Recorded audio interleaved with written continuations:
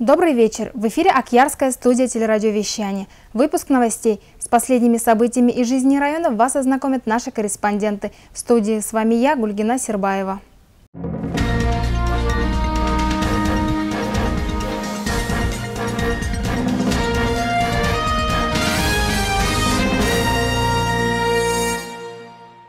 Чернобыль.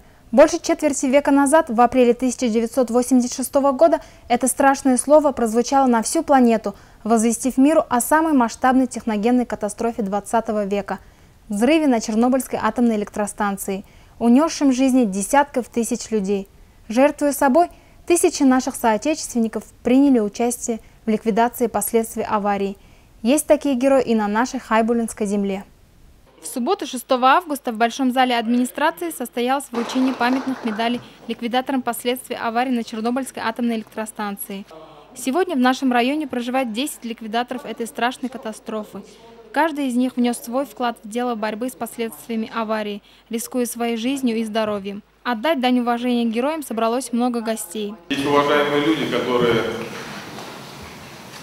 э, в силу может быть, своего желания, в силу, может, того, что судьба их в этот момент туда забросила, а, находились на ликвидации Чернобыльской катастрофы. А этих людях, как правило, стараются забыть, что я считаю неверным. А, я считаю, что люди в молодые годы помогли стране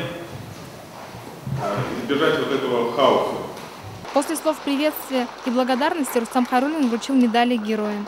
К сожалению, два участника не смогли присутствовать на мероприятии по состоянию здоровья. Несмотря на все сложности, проблемы, герои сохранили бодрость духа, оптимизм, стойкость и, как подобает настоящим героям, были немногословны и скромны.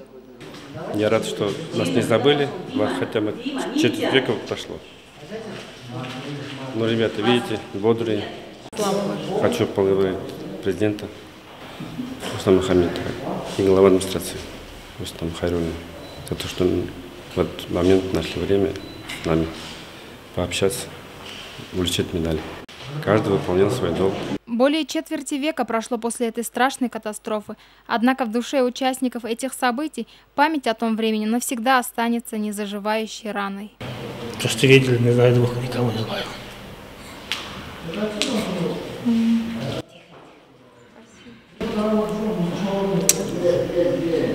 Никому. Гульгина Сербаева, Вильдан Алчинов, Рустам Имангулов, служба новостей. В образовательных учреждениях района вовсю готовятся к новому учебному году. Ремонт в некоторых школах в самом разгаре. Ивановская средняя школа за 49 лет своего существования пережила многое, а вот капитального ремонта еще не видела. Наконец приступили – как проходит реконструкция, поинтересовалась наша съемочная группа. Выпустили 9 учеников вот, с 11 класса. Они без провала все успешно сдали экзамены, вот, единые государственные экзамены. Почти, почти 50 55% сегодня поступили учиться в вузы, в СУЗы. Все они вроде трудоустроены. Было 4 медалиста серебряных, серебряных да. Они тоже обучаются в разных вузах нашей республики. Ивановская школа, в которой обучаются еще и дети с Михайловки, Пугачевки и Акташева, действительно мало напоминает современное учебное заведение. Глядя на эти стены, учителя и педагоги вспоминают свои школьные годы. Ведь открыли ее еще в 62-м. Поэтому о необходимости капитального ремонта говорить даже не приходится. И вот, наконец, после окончания учебного года здесь застучали молотки. Наша школа построена в 1962 году. На следующий год будет у нас золотой юбилей. Конечно, в течение вот, 50 лет таких крупных ремонтных работ в нашей школе не проводилось. Конечно, все устарело, все сыпется. Этот ремонт мы ждали не первый год. Каждый год обещали, но в этом году вот новая администрация района, конкретно с весны, сказала, что будет капитальный ремонт, ремонт и готовится. Действительно, сегодня вот этот ремонт начался. Ремонт ведет компания о стройстандарт. Вот, ребята вроде серьезные, работу выполняют качественно. То, что намечено, они говорят, успеем до 1 сентября. Косметический ремонт в Ивановской школе делали неоднократно, а вот капитального ремонта за свои без малого 49 лет здание не видела ни разу. Кровля, которая протекала, трещины в стенах – это далеко не полный список сюрпризов, которые преподносило здание в последние годы. Ну а теперь, после капитального ремонта, старую крышу заменит новая из металлочерепицы, обновят и фасад сайдинга. Ну а старые деревянные окна заменят новые пластиковые. В данный момент сейчас мы, э, у нас идет уже шпаклевка.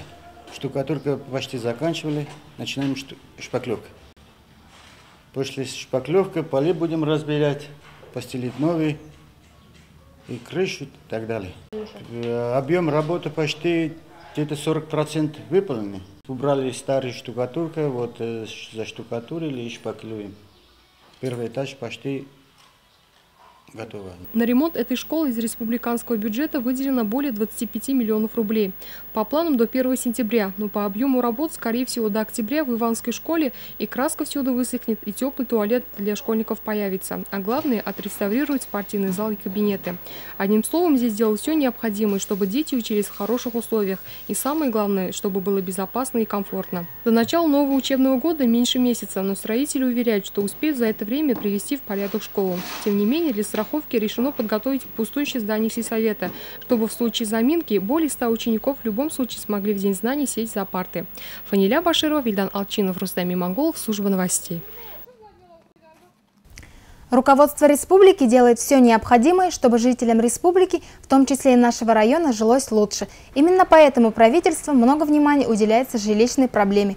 В районе большими темпами ведется строительство социально значимых объектов и индивидуального жилья – в качестве примера можно назвать строительство многоэтажных домов в селе Акьяр, завершение которого планируют ко второму кварталу 2012 года. Строительство трехэтажного дома ведет организация «Стройкомплект-сервис», основным направлением деятельности которой является строительство жилых домов в Акьяре для продажи. По словам строителей, на сегодняшний день заложен фундамент и приступили к строительству первого этажа. Мы, значит, э, закладывали дом, значит, в Новоаурске. Э, значит, э, облицовка, керамический кирпич облицовочный, забутовка, значит, керамзитоблок и перекрытие железобетонные изделия. То бишь по всем ГОСТам, которые должны было быть. Вот. Утепление, минплита, то бишь по нормам, значит, новым СНИПам все проходит. Стоимость ориентировочно 25-26 тысяч квадратных Это сегодня? На сегодняшний момент. Но, в принципе, Что мы... в следующем году? Это... Нет, мы сейчас э, как бы э, заключаем договора, значит, с людьми, которые уже желают приобрести жилье, значит, договор долевого участия, где конкретно прописываются сроки сдачи дома и стоимость, то бишь цена фиксируется.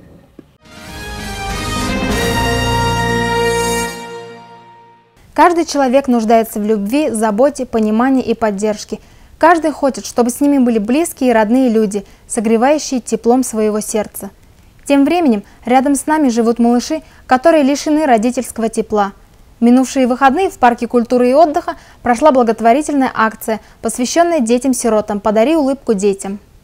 6 августа в Парке культуры и отдыха прошла благотворительная акция «Подари улыбку детям». В этой акции приняли участие дети из социального приюта села Акьяр. Инициаторы и организаторы акции – районный дом культуры и индивидуальный предприниматель Ильдар Галямов.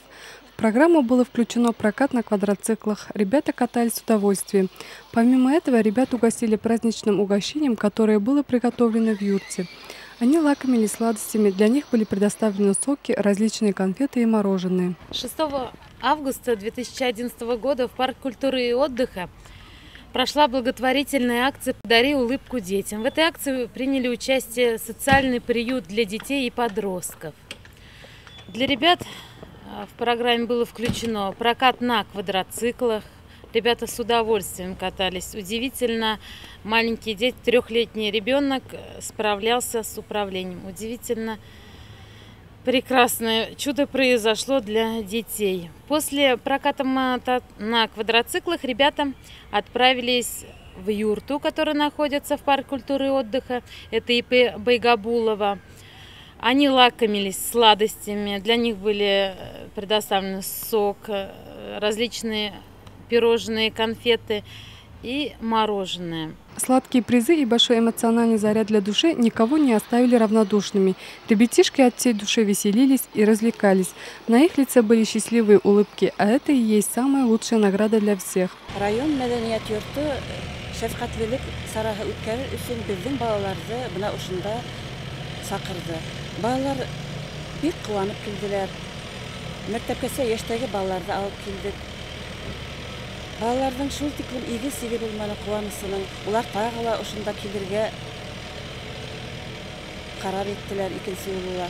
Задача нашей акции – подарить детям праздник, ведь именно в детстве так важны впечатления, которые останутся с ними на всю жизнь, говорит предприниматель Ильдар Галямов. 6 числа суббота была проведена благотворительная акция совместно с районным домом культуры э, детскому приюту была предоставлена бесплатно мороженое, соки, пирожное. Диля Баширова, Вилдан Алчинов, Рустам Иманголов, служба новостей. На этом выпуск новостей завершен, а я с вами прощаюсь. До скорых встреч!